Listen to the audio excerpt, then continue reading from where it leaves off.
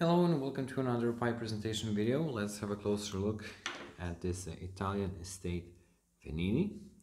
Simple straight billiard shape with brass band, wider brass band and vulcanite saddle stem filtered for 9mm. Very lightly smoked in smooth natural finish. And let's just quickly go over it and show it in detail.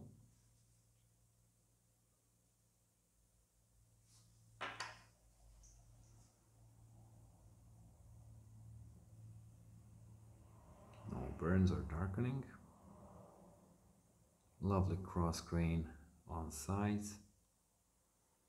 And do notice the uh, factory fills that are present, surface factory fills all around the uh, stummel as you can see.